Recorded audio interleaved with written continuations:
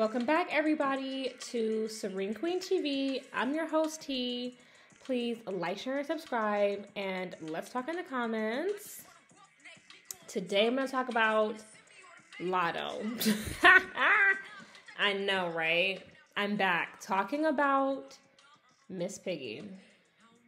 Scratch off, lottery ticket, side piece. I don't know whatever you want to call her. But I'm back. Um, you know, again, I did a video about Latto before, and I said that Ice Spice was coming to replace her, and I've I've been continuing to be proven correct. Um, you know, Ice Spice is dog walking Latto career wise, and Coi Leray is too. But Latto is doing a lot of self um, demolition, a lot of self sabotage. Like it's it's her working against her. So I was watching Mob Radio the other day. Shout out to Mob. I like Millie. She's so much fun. Um, just I like her show. But she was just covering like Latto cooking for 21 average. I like to call them 21 chromosomes. But um, you know, 20 let's see. i like you know like i would be a little bit nicer i'll call them 21 average um and it's just like latto you know when i was watching that tiktok i said to myself this motherfucker is trying to replace barefoot contessa I was just like, that's who you're gonna replace. You're not gonna replace anybody in rap latto, you're going to replace Barefoot Contessa on Food Network because you you're I can't you are not to be taken serious. Like I cannot take you serious and I refuse to. And um you don't take you serious. 21 average doesn't take you serious and nobody else does either except some of the other, you know, sorry ass bitches like you, but other than that, like nobody really like takes you serious. And like how how can we? Um, I'm glad that you did acknowledge yourself as a white woman because you are a white woman. You know what I mean? Like you are. Um but and and that's another thing. Like we're letting you say the N-word and you are a Karen, but Latto, you have no one else to blame for your rap career being where it is but you. And I don't understand you because, you know, before a lot of the bad press about you, I really did see it for you. Like, I don't think you make bad music. I think you make pretty decent music. And it's, to be honest with y'all, I, am not gonna lie on Latto. Um, I like Latto's music better than Megan Thee Stallion's. I do. Because Megan's music is just too sexual. And Latto's is too. But I just prefer I think I like Latto a little bit her music a little bit better than than Megan. And like some and I think Megan is a good rapper. I'm not gonna I'm again I I've never lied and said I thought Megan was trash. Like Megan is a good rapper. And Latto is a good rapper too. Like they're they're pretty decent girls. Straight up they're not Nicki, they're not Mia X, and they're not Kaya. And y'all can talk shit about Kaya, but they're not Kaya. I'm just saying, other people who are really good. But with Latto, it's just like Latto, that's the thing though. Like you're pretty good. You just continue to self sabotage. Like you came this far to just come this far. And I'm disappointed um, because you used to carry yourself very high self esteem. You used you used to carry yourself different. Like Latto wasn't always she didn't always come off like she is now. Like before she signed that record deal, Latto came off like like very it was rare to find an artist who really knew their value. It was rare to find an artist who really was focused on the business and making money and who really wasn't obsessed with mainstream and who was like, no, I'm going to wait for the right deal. You're going to really have to show me something I've never seen before to get me to sign a deal. And I really like that about her Because there's a lot of artists out there who are just so thirsty to sign. And then they end up shelved, um, you know, and then, or complaining about the industry um, for being shelved or complaining about you know the Doja Cat bullshit, complaining about success, complaining about control, blah blah blah, like all the fucking bullshit we've we've been hearing since the fucking nineties. Um, so like it was rare to find an artist like Latto, but it's like ever since she signed, you know, she really really has like mentally like gone commercial and like not in a good way. That's the thing. It's like you have people who sign deals like Travis Scott and they go commercial. You know, people like The Weeknd who sign deals, they go commercial. You know, their music changes a little bit, their image changes a little bit, they get into a few PR relationships. You know, they do some high profile things, whatever, to go along and get along so they can push their music. Um, and they end up as like very, very big stars. Like Beyonce's another one of them, like who has played the industry game after going commercial to become a very big star. So I'm not against anybody. Like Nicki Minaj did that again, like went pop, went commercial. You know what I mean? Like commercial Nicki is not mixtape Nicki. And that's fine. That's why we don't need to call her Nicki Minaj anymore. We just call her Nicki because we, we know who you're talking about. Because she's just that big.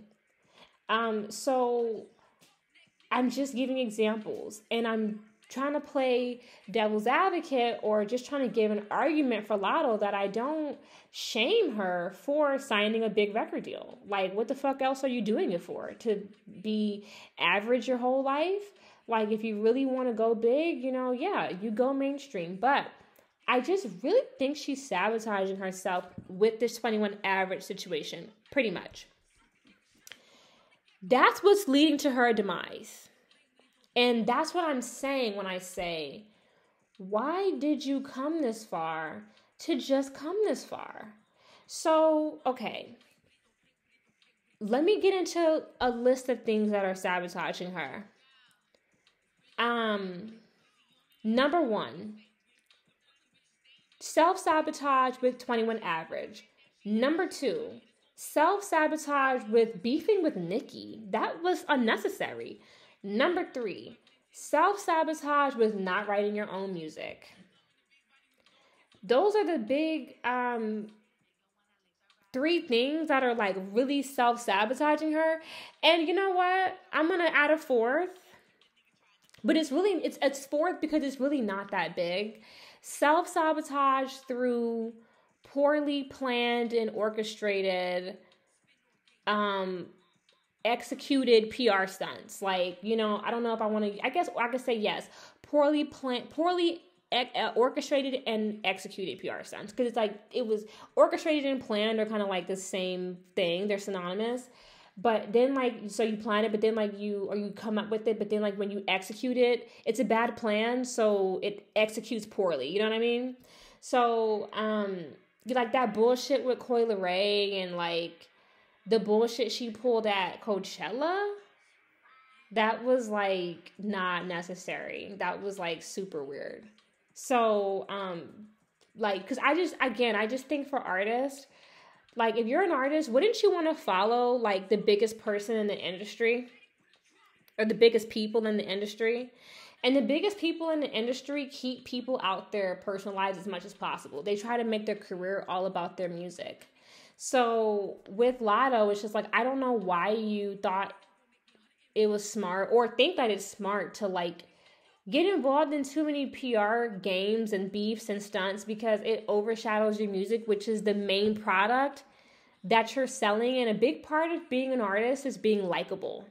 You know what I mean? Like a big part of being successful in life, period, as a person who is more successful in my professional life than I am as an artist. Um, with my day job, like I'm successful at my day job because people like me. Like that really helps me a lot.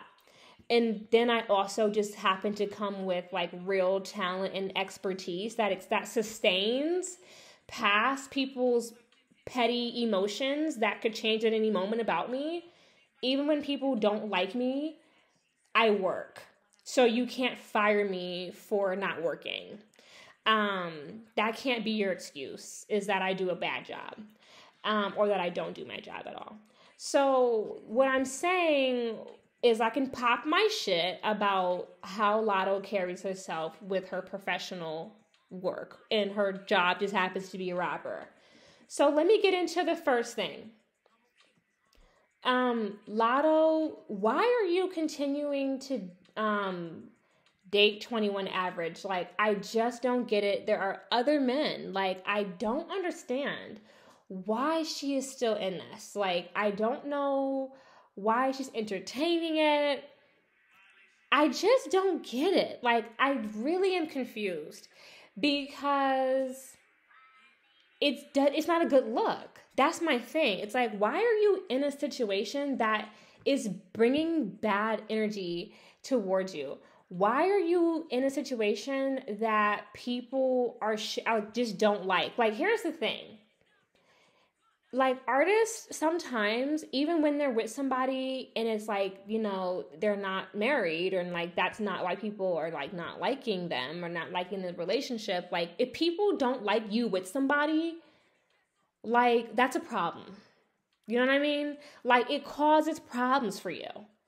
And you're too new and and like not established in the music industry entertainment industry period. Like you haven't you haven't ventured off into acting and you know you're about to venture off into cooking via this sorry ass situationship. And it's like that is just not good girl. Like i just don't understand why she like is just in the situation with 21 average. Like i just feel like there you can't convince me Latto you're light skin okay? I'm brown proudly brown but I know light skinned women, I get a lot of attention, but light skinned women get a lot of attention because whether they're pretty in the face or not, by virtue of them being fair skinned. Just like, you know, white women, which Latto looks like. And she really, if she would stop trying to be ghetto, she really could get with a nice white man who could, like, actually maybe put some bands into her career.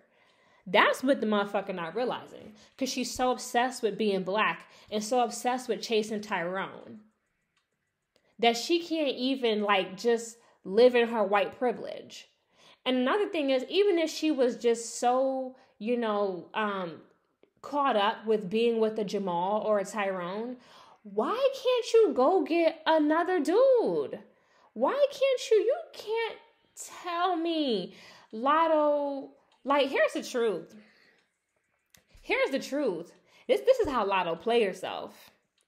Latto, you sat there and you went out of your way to try to make it seem like 21's uh, no no no Kodak Black and and maybe Lil Wayne were trying to get you to fuck for records when bitch you would have been better off fucking them for records.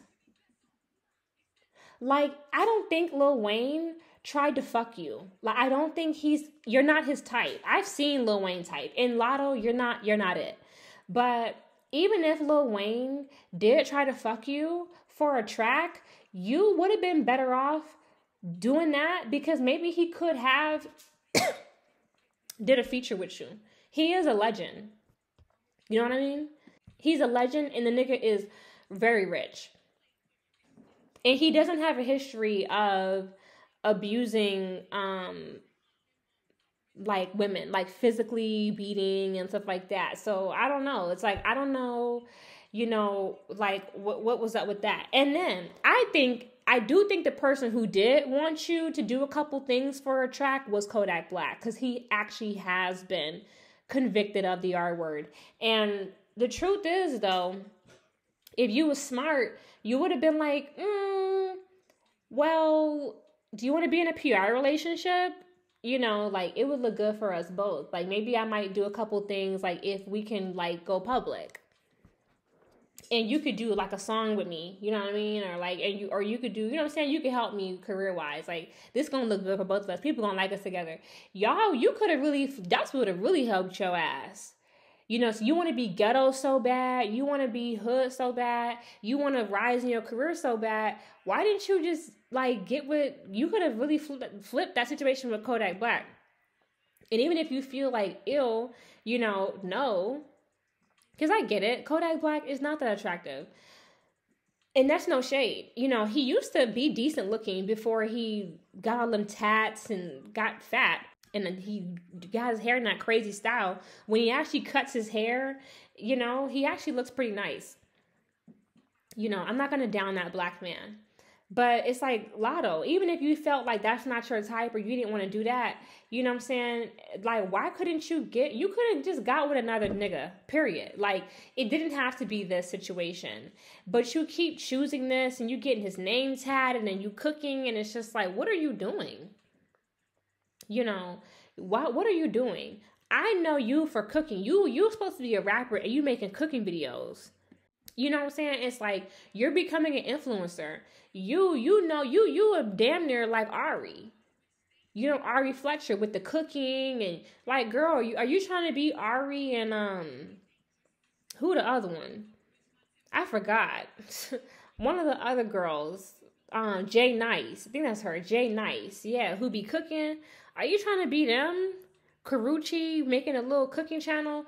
Like girl, like I thought you were a rapper you need to stop being on TikTok cooking meals for this married man and you need to be making motherfucking hits. And excuse me, which leads me into what's all this bullshit with you and um Nicki Minaj. Like y'all can talk all this shit y'all want. Latto, you recorded that conversation because you were trying to be malicious and you had an attitude and you have a bad attitude and there was no real reason for you to just go at Nicki. I do think Nicki should not have dragged Latto into the situation with that Grammys mess. Like she shouldn't have you know, that was I was like, Nicki, what are you doing? Like again, I can admit when Nicki is wrong. Nicki should not have made that situation about anybody else, and she really shouldn't have complained to begin with. She should have just took her nomination and shut the fuck up.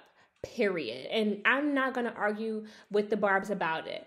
But Latto, you also like I don't know why people don't handle things like Beyonce. Just shut the fuck up. And if you want to respond, do it in bars. But y'all need to stay up off of Twitter with the fucking bullshit. Like, and, and Latto, even if you want to respond again, recording the conversation was lame. Like, you was wrong for that. And you was, you, you again, you calculated, you dirty, and you just moved like a snake. Because you are. You fuck fucking somebody husband, you in a whole relationship with them, and you up here trying to fucking start industry beefs for clout. Like it's just giving pathetic. And it's giving that you don't really have any talent, which you don't. Which leads me into point number three. And again, I'm gonna sum it up here. Latto, when all those tracks leaked, that was a very bad look for you. You do not write your own music, and you need to start doing so the music that you're making is is, pathetic. Sharing sharing material with other artists because you don't make your own is insane and pathetic. Like I could not imagine because I am a published writer and again, I do make art. I could not imagine sharing my material with other people. What the fuck else are you doing this shit for? Why the fuck else are you an artist? Like, what kills me with these people is it's like, you know, you can get rich and famous from like doing other things, right? Like, if you want to share art, become a fucking actor. But when you go into like fine art and fashion and like music, that shit's supposed to be original and like individual to you, especially if you're a solo act. you should you should only be sharing music if you're a group act. So like sharing songs as a fucking solo artist is insane. And I just can't imagine doing it. Latto and Coi and Saweetie and all the other girls who are doing that, you should be ashamed of yourselves, especially as rappers and not singers. This is pathetic and disgusting, and it's why the music industry is like in the toilet, please. It's scraping the bottom of hell. So I'm disgusted with Latto. I'm disgusted with her carrying on publicly with this married man and showing that she's cooking for him and getting him tatted. It's like, Latto, what are you doing? Why do you want to have this image? You know it's not benefiting you. You're getting public backlash. Why do you insist? And um why aren't you writing your own music? Why aren't you just focusing on your music? Like why do you feel like you have to do PR signs? And you know why you feel that way? Because you know you know that you're not that talented. Like you are a good rapper. I think you have good delivery, but the fact that you don't write your own music really just means you're a good reciter. Um, you're better than Cardi B, and you're better than Coi. Um, but you know, you're not better than Ice Spice. I'm wishing you the best, Latto. I want you to do better. And um, you know, hopefully, you know what I do want for you, Latto? I want you to replace Barefoot Contessa. I do. I want you to, because your food did look good. You know, I'm, I'm, not gonna lie on you. It looked good. So, with that being said, you know, you and your hood accent, go. I want you to get a deal with Food Network. Let's talk in the comments.